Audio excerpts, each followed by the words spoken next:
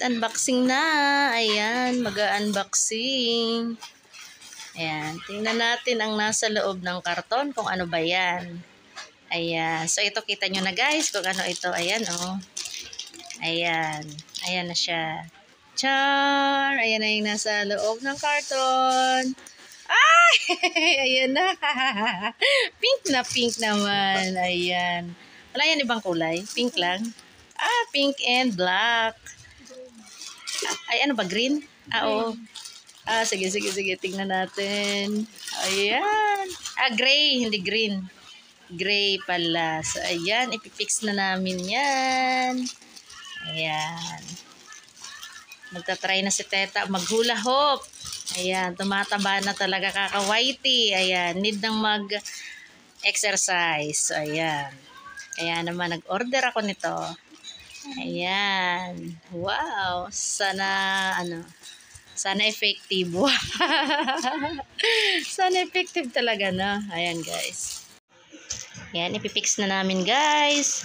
Ang hula hoop. Ayan. Ganda, guys, ng color, di ba? Pink at saka gray. Ayan, ang ganda. Ang ganda ng color. And this one, oh, di ba? Ano yan? Aha, ha? Ayan, oh. Diba? Charan! May dati kasi akong hula hoop dito, guys. Eh, ano, plastic tapos ano ang gaan-gaan. So, isang ikot lang sa baywang ko. Laglag ng laglag. Eh, wala akong tiyaga sa ganun. Nalalaglag lagi. Isang ikutan lang sa baywang ko. Laglag, laglag, oh. Ay, nako. Tatama rin kahit kayo pag ganyan ang hula hoop nyo. Pambarang pambata lang kasi siya. Nabili ko lang niya sa palengke iyon. Ito, nag-order ako sa Shopee. Shopee ano ba? Ayan, sa Shopee. Ayan, pinipix na ang aking hula hoop. Charm! Ayan, matry natin mamaya. Ayan, pinipix na. Ayan. Hindi ito. Ayan. Ah, may size-size yata, de. Ayan, alternate ang color niya, be.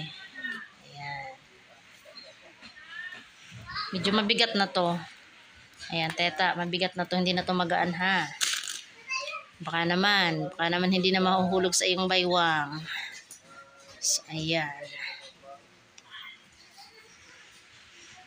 Ayan.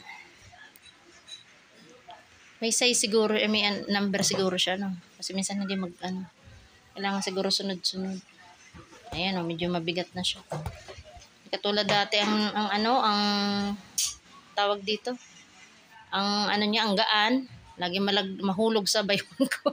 Isang ikutan lang, di ko talaga kaya. Or sabi ko, baka naman, ano, hindi talaga ako marunong.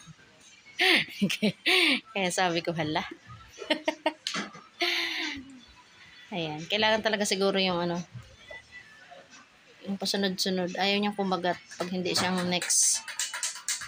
Wala naman number. Dapat may number sana na. Para alam natin kung sunod-sunod. Walang number. Ayan oh, ganyan lang siya guys. Oh. Dudugtong-dugtong lang. Ayan.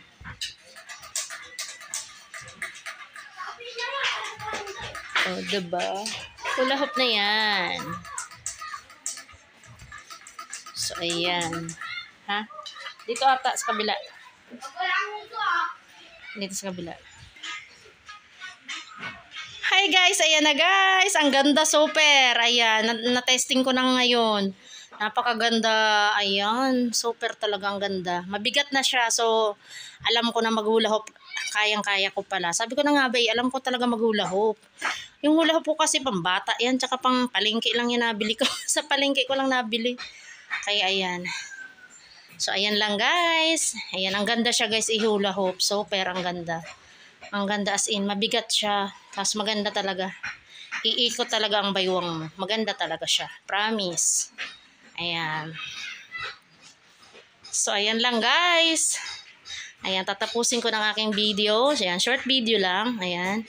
Thanks for watching. So, ayan, maghuhula hoop na si Teta. Bye guys! Alright!